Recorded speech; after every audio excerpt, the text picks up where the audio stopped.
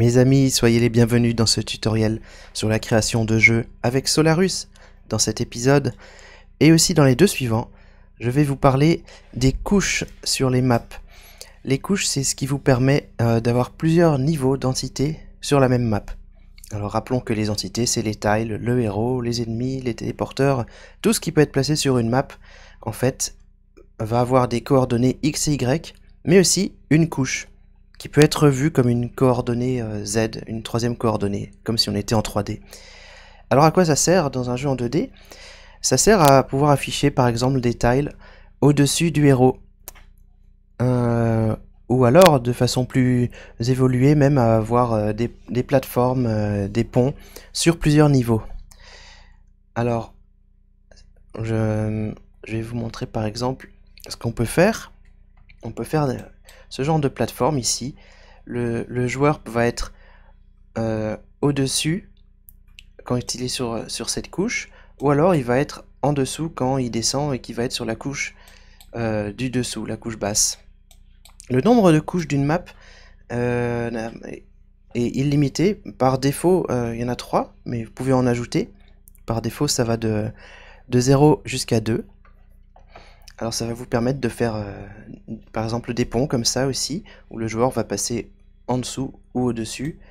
C'est un petit peu l'équivalent de, cette plateforme, mais euh, en extérieur.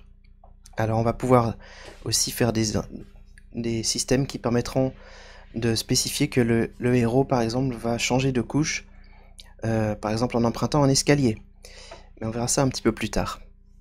Euh, je vais commencer par juste vous expliquer ce que c'est que les, couches. Et je vais commencer avec un exemple simple qui est en fait de faire des arbres. Donc là je suis dans une map extérieure euh, toute bête. Pour l'instant tout est au même niveau sur cette map. Euh, j'ai donc les trois couches par défaut mais tout est sur la couche 0. Les couches sont numérotées ici, donc on a les couches 0, 1 et 2. Et vous avez ces icônes là-haut qui vous permettent d'afficher ou de désafficher chaque couche. Alors comme tout est sur la couche 0, il n'y a, que le bouton couche 0 qui aura un effet. Mais si on ajoute un arbre par exemple, alors je vais sélectionner cet arbre là, et puis je vais mettre là, et puis peut-être un deuxième, euh, hop, n'importe lequel, que je vais mettre ici. J'enregistre ma map et je teste.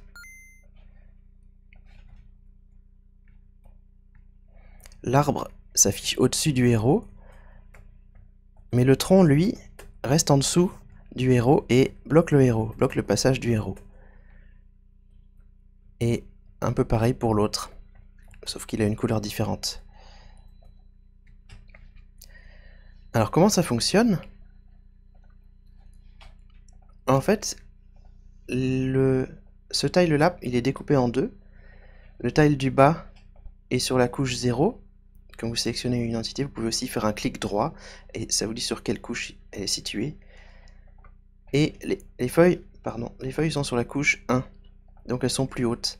Donc là, cette fois-ci, si j'affiche que la couche 1, on a effectivement deux entités, deux tiles qui sont euh, sur cette couche supérieure. Et toujours personne sur la couche 2, parce qu'on n'a pas vraiment besoin d'une troisième couche sur, sur, cette map, donc on l'utilise pas. Mais voilà, presque tout est sur la couche 0, si je désaffiche la couche 1, euh, bah voilà, on voit plus les feuilles, euh, le haut des feuilles de ces deux arbres. Donc euh, c'est ce qui vous permet de assez facilement créer des, arbres dont les feuilles s'affichent au-dessus du héros. Alors quand vous faites ces, gros arbres là, supposons qu'on veuille en mettre un ici, c'est un, un petit peu pareil. Tout le feuillage qui est là en fait, par défaut, il va être sur la couche 1. Alors le tileset est déjà configuré pour créer par défaut euh, les feuilles sur la couche 1 et, le, tronc sur la couche 0. Mais euh, une fois que l'entité est placée sur la map, vous pouvez bien sûr changer sa couche euh, en faisant un clic droit par exemple, et puis vous pouvez mettre sur la couche 2, couche 0, alors si on mettait tout sur la couche 0, euh, ça serait très mauvais. Couche 0, on va essayer. Juste pour le fun. Pour mieux comprendre à quoi servent les couches. Donc là, le joueur s'affiche au-dessus du feuillage. Alors non, ça ne va pas du tout. C'est absolument pas ce qu'on veut.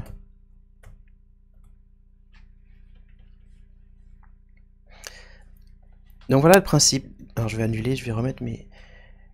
J'ai fait CTRL Z pour remettre mes feuilles sur la couche 1 et euh, pour vérifier, on va désafficher la couche 0. Et on voit que celles-ci, elles sont encore sur la couche 0. Donc on va les remettre sur la couche 1. Voilà, cette fois-ci, ça m'a l'air bon. Couche 1, couche 0. Toutes les couches. Voilà. Les couches, ça s'appelle layer en anglais. Donc quand vous passerez euh, au script Lua, euh, on parlera surtout de layer, mais c'est la, même chose que les, que les couches. C'est juste le mot anglais. Ok, donc voilà le principe.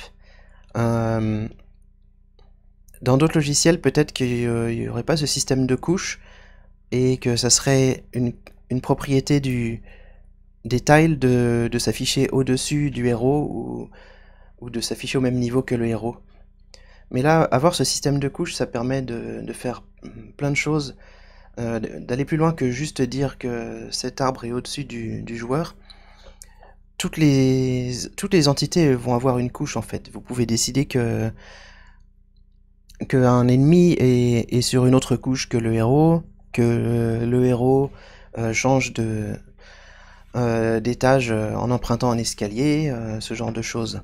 C'est ce qui va nous permettre de faire des, choses plus évoluées comme, des ponts, des escaliers, euh, des falaises desquelles on peut sauter pour euh, se rendre sur la couche inférieure, et même chose dans les donjons.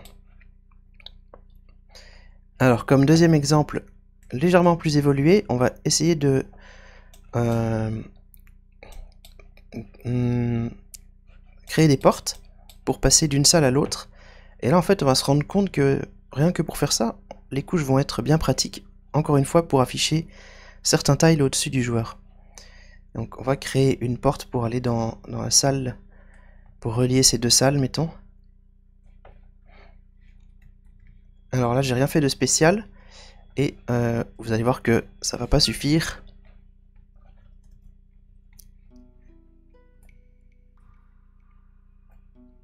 Alors on arrive à passer dans l'autre salle, mais en fait, euh, le, le, joueur s'affiche au-dessus parce que j'ai rien mis sur une couche supérieure qui pourrait cacher le héros pendant qu'il traverse ce couloir. Et encore pire, on peut même passer là. Parce qu'on n'a pas mis de mur. Le fait qu'on n'ait pas mis de mur, c'est pas lié spécialement aux, histoires de, couches. Mais euh, on va commencer par rectifier le problème des couches. Alors ce qu'on va faire, c'est que si vous remarquez ce tileset, à chaque fois que vous avez un modèle de porte, à côté il y a, il y a le haut de porte qui est répété en fait, on va le prendre et on va le superposer. Par contre, lui, on va l'afficher sur la couche 1. Notre porte, euh, le reste de la porte est sur la couche 0. Donc pareil là-haut.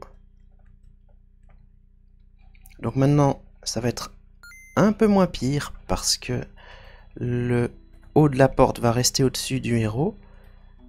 Par contre, on traverse toujours le couloir, euh, on voit toujours le héros dans le couloir. Donc on va avoir besoin d'un tile encore pour le cacher. Alors, euh, on a des tiles de plafond, euh, c'est ceux-là. Vous pouvez prendre probablement un tile tout noir pour le laisser en noir, mais en fait, moi je vais mettre celui-là partout.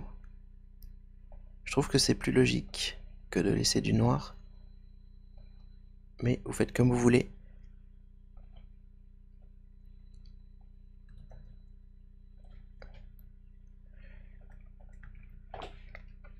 Alors d'ailleurs, pour créer ces tiles, je rappelle que j'ai fait un clic droit pour pouvoir en créer plusieurs à la suite. Donc voilà notre beau plafond. Alors lui, il s'est mis sur la couche 0, parce que quand je le prends là, euh, il n'est pas préconfiguré pour aller sur la couche 1, vu que c'est un tile... Euh, c'est pas spécialement un tile de plafond en fait, c'est juste un tile clair. Donc euh, je vais devoir sélectionner tous ceux que je viens de créer là, et les mettre eux aussi sur la couche 1.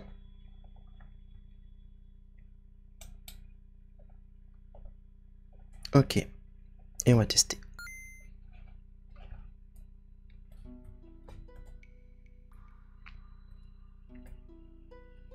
Voilà. Là, le rendu visuel est bien. Il reste le problème qu'on peut passer à travers. pour ça, bah, maintenant que le héros est caché, on va en profiter pour euh, désafficher la couche 1, le temps d'ajouter quelque chose qui va, qui va bloquer le héros. Donc on peut mettre par exemple des petites barrières. Donc c'est des vrais tiles euh, standards. C'est juste que comme ils vont être sur la couche 0, ils vont être masqués par, euh, par le plafond. Donc on verra pas ce, ce petit bricolage. Voilà, là, faites-moi confiance, je suis en train d'appuyer sur droite et gauche et le héros reste bien dans le couloir. Donc notre porte est correcte. Cette fois-ci, ça m'a l'air mieux.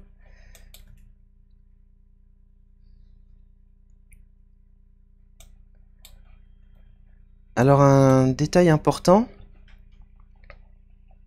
c'est que sur une même couche, n'oublions pas que les tailles peuvent toujours se superposer même quand ils sont sur la même couche. Par exemple, ce tile d'herbe jaune là, il est sur la même couche que le, bas du tronc d'arbre. Alors on peut aussi les ordonner entre eux. C'est quand on fait mettre au premier plan, mettre en arrière-plan. Alors, euh, si je mets en arrière-plan, l'herbe se retrouve au-dessus du... D'ailleurs, j'ai plusieurs herbes qui se chevauchent. L'herbe se retrouve... Les... Même l'herbe verte se retrouve au-dessus du, du tronc, donc c'est pas du tout ce qu'on veut. Si jamais vous avez ces problèmes, euh, voilà, n'oubliez pas, ça veut pas dire que, que votre tile est sur la mauvaise couche. Votre, le tronc d'arbre est sur la mauvaise couche, mais peut-être qu'il est simplement derrière d'autres tiles qui, qui sont sur la même couche que lui. Autrement dit, il y a deux niveaux euh, de superposition. Sur une même couche, vous avez plusieurs tiles qui peuvent se superposer. Là, si j'affiche que la couche 0, que, pardon, que la couche 0. Tous ces tiles-là, euh, toutes ces entités sont sur la même couche, mais elles ont quand même un ordre. Euh, ce tronc d'arbre est, est, devant euh, ce, ce, fond vert. Et même chose, ce mur est devant le vert aussi. Si on le mettait en arrière-plan, ça ferait n'importe quoi. Vous pouvez sélectionner un, tile ou une entité et appuyer sur B ou T, qui veut dire bottom ou top, pour euh, réordonner, mettre en arrière-plan, mettre au premier plan, tout en restant sur la même couche. Après, si vous voulez changer un tile de couche, euh, vous avez des petits raccourcis clavier, la montée d'une couche, descendre d'une couche, c'est plus ou moins. Ici, descendre d'une couche est désactivé parce que euh, il est déjà sur la couche 0 et il n'y a pas de couche inférieure à la couche 0. Mais vous pouvez créer plus de couches si vous avez envie, si vous avez besoin. Euh, ok. Donc c'est tout ce que je voulais vous dire pour cette introduction sur, euh, sur les, les, couches. Encore une fois, c'est... Je vous ai montré que les bases là pour afficher des tiles en gros au-dessus du, du, joueur, que ce soit pour les arbres ou pour les portes. Maintenant vous savez faire des, belles portes, ça va déjà vous être utile. Euh, et dans, un vrai projet complet, euh, je vous expliquerai dans les deux prochains épisodes, euh, sur des exemples un peu plus évolués, comment faire des plateformes un peu compliquées avec une vraie gestion de, niveaux multiples sur une même, ou d'étages multiples, vous pouvez appeler ça comme vous voulez, des, niveaux, des étages ou des couches sur une même map. Ça permet de faire des, beaux ponts, des plateformes et, des, systèmes de, de demi-niveaux comme ça.